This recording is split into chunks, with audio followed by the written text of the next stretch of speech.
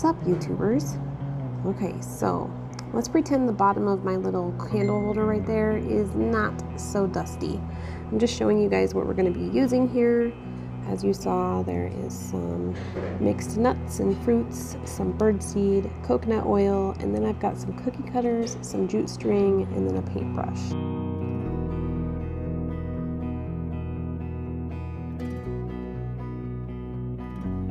First, you're going to start by chopping up your mixed nuts and fruits if you have those available. You absolutely don't have to use these.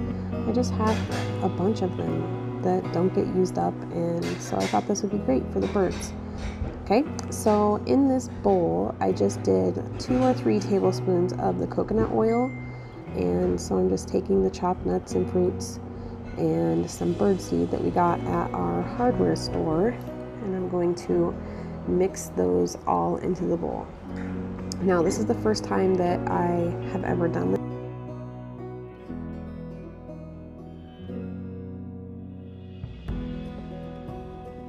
I actually saw this idea on a couple of other channels that I follow, and so I wanted to do a little video on it for my followers. You guys absolutely go check out my description below.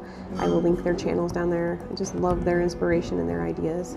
So melt down your coconut oil. You can use beef tallow as well, but it's really hard to find here, so we went with the coconut oil. And then just mix in your birdseed or whatever it is that you're wanting to use.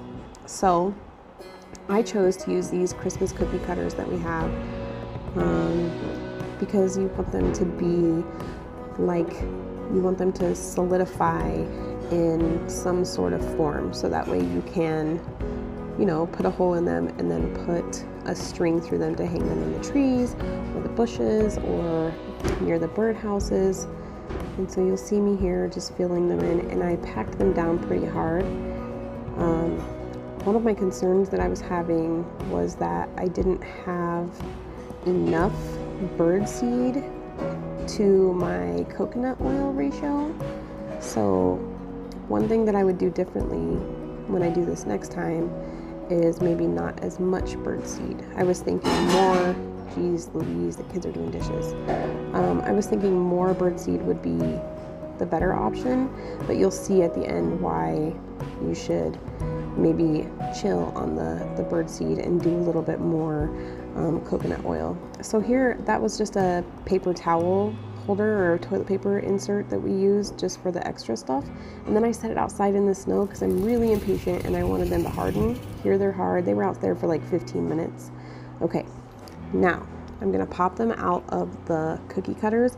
One thing that did happen with the coconut oil is once I started handling the um, molds of the cookies that I made, that just the heat from my hands was very much melting the coconut oil and you'll see off to the side, here's the little snowman one. You see off to the side that cut that candy cane one fell apart because it was just much too thin.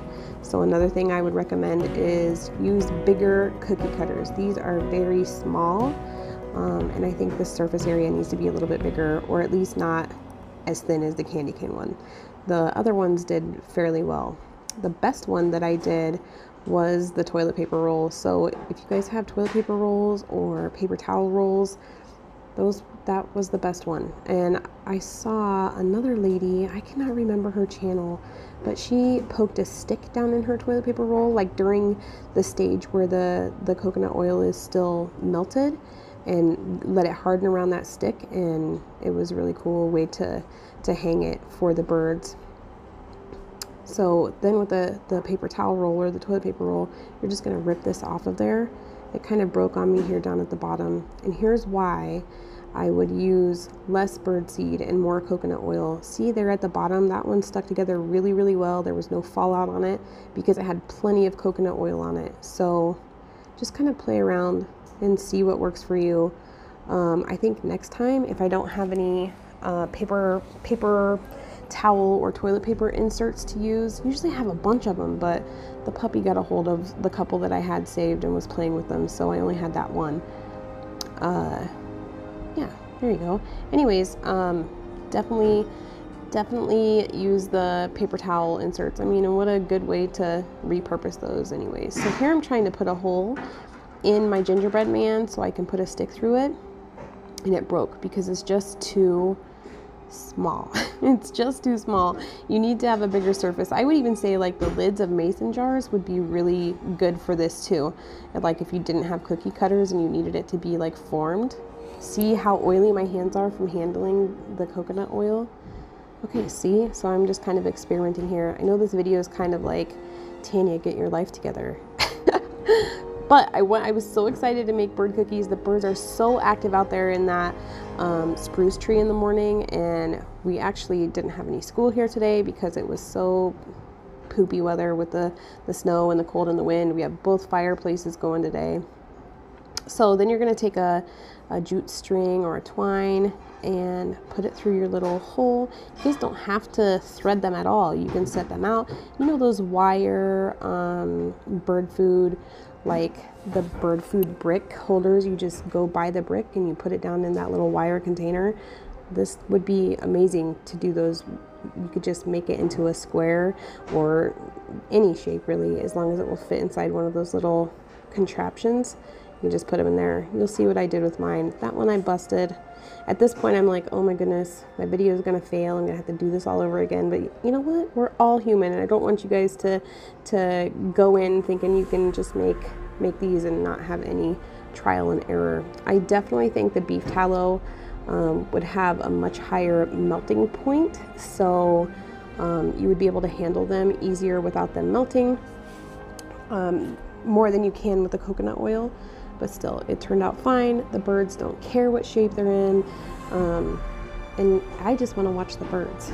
I'm so impatient that I went out a couple of times. You guys, it's like two degrees here. It's very cold, very windy, like 60 mile per hour winds, snow blowing everywhere. And um, I was trying to see if the birds were out there, like eating the bird food yet.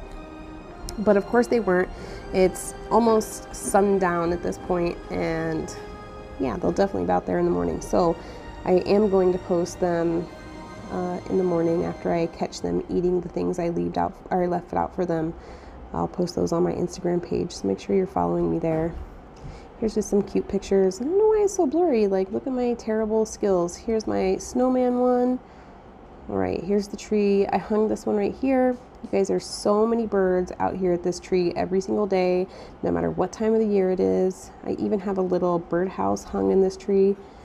And then I just left the others in that little dish in the big center of the tree. Here's me all proud of my my my bird cookie. That's what I've been calling them is bird cookies. And telling you guys that I left the rest of them in a dish right there uh, yeah, it was too windy, so you couldn't hear anything I was saying, so I had to voice over.